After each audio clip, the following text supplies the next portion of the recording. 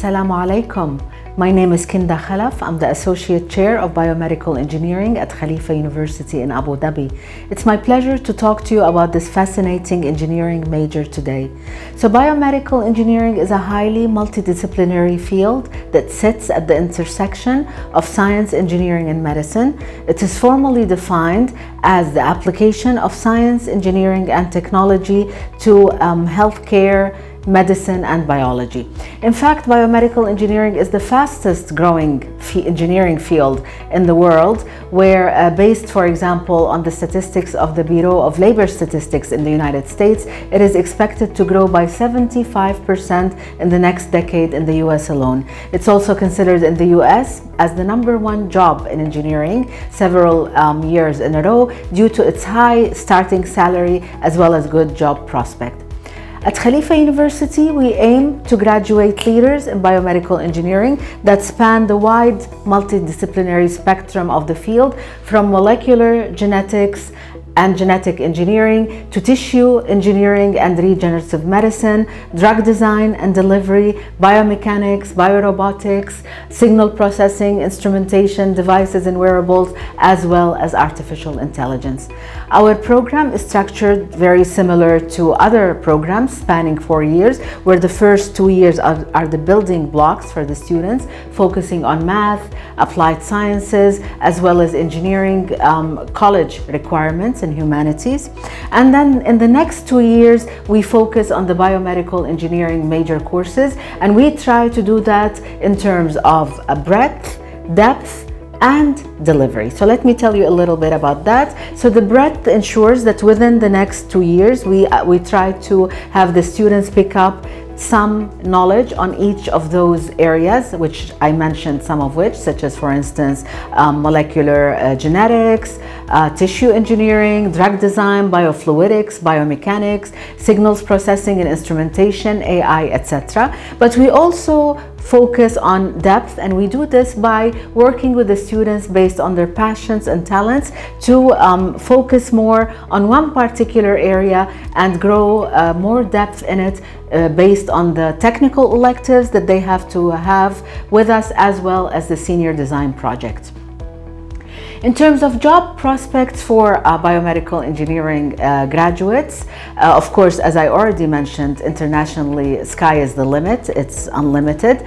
Um, here in, in this region and in the UAE, it's uh, diversified, where basically they can work in, uh, for example, government and regulatory uh, agencies such as SEHA, Department of Health, Tawazun, Mubadala Healthcare, Abu Dhabi, Dubai Police, etc. Our graduates have also been able to, to find uh, jobs in some of the top hospitals, uh, clinics, and research environments here. That includes um, Cleveland Clinic, Abu Dhabi, Health Point, Mafraq Hospital, SKMC, etc. There's some opportunity in the medical industry. Uh, I'm talking about local opportunities. We've had students who worked at Siemens and uh, GE Healthcare as well as Farmacore.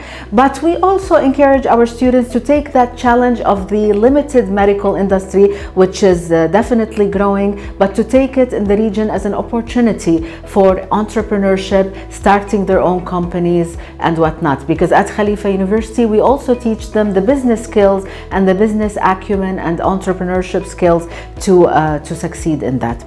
I also want to mention that a good portion of our students continue to graduate school and medical school. Our curriculum is designed to allow the students to obtain all the pre-med requirements that are necessary for a typical 4 plus 4 medical degree, including the entrance exam, the MCAT, similar to, uh, to the medical school that we have at Khalifa University.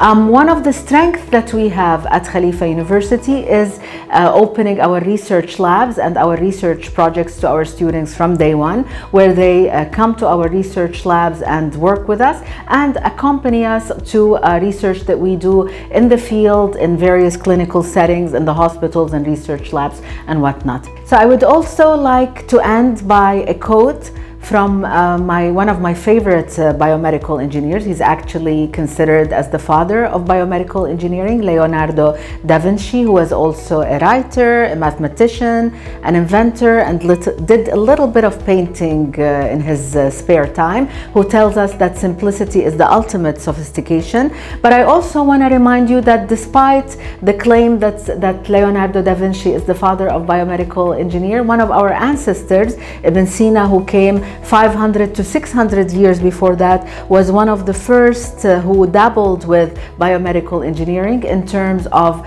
drug design and delivery using herbs, but also in terms of medical tools, as, as you can see here with me, behind me on, on the screen, the various surgical tools uh, and, and uh, medical tools that he used for uh, diagnosis and treatment of, uh, of uh, patients. Thank you very much. Our website is available for more questions and we are ready to answer any uh, questions or inquiries from your end. Thank you.